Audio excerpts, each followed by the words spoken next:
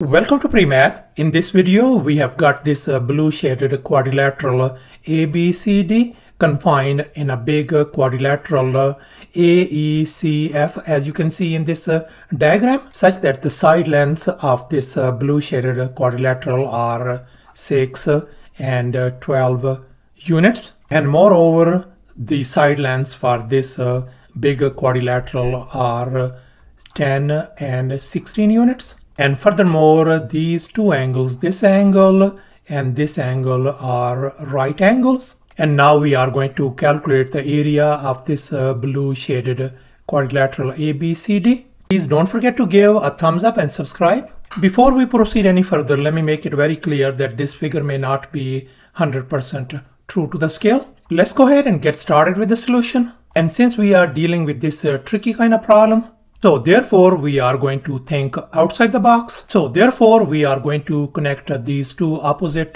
points A and C as you can see in this next diagram. And as a result this line AC divides this blue shaded area into two triangles.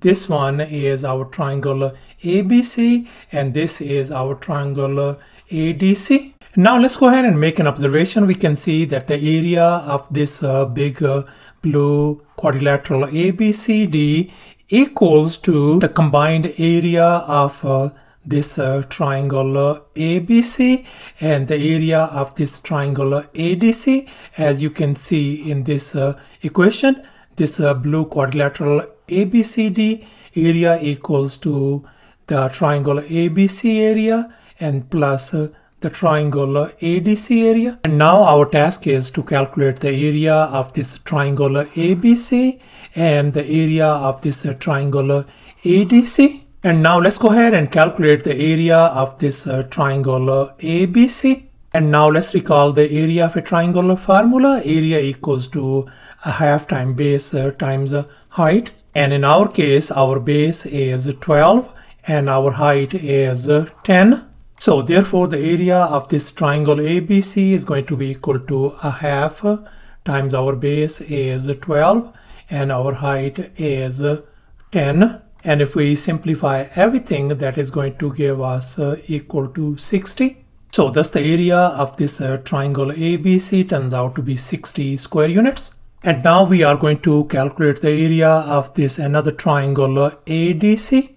And for this uh, triangle, our base is uh, 6 and our height is uh, 16. And we are going to apply this very same formula. So the area is going to be equal to a half times our base is 6 and our height is 16.